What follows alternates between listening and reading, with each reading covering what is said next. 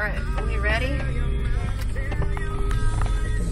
Let's go down to Clear Lake.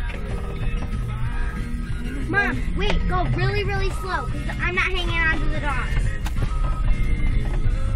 Go really, really slow. We're, we're trying to be hillbillies here, Oh.